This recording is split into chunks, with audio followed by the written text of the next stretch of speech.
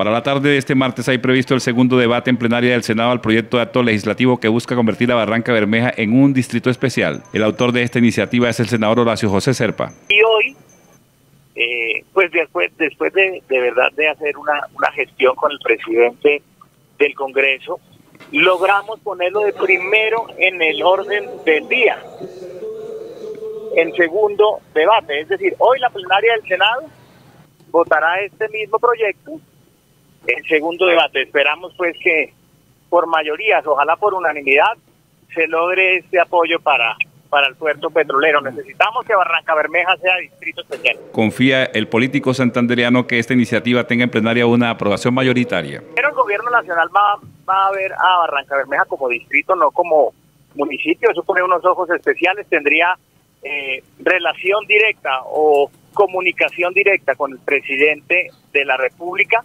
También tenía, eh, tendría Barranca Bermeja asiento en el local regional, es decir, podría eh, obtener recursos de regalías.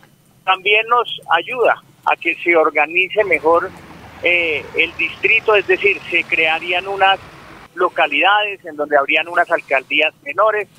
Eso lo tiene que reglamentar después eh, la alcaldía municipal, el consejo, ¿sí?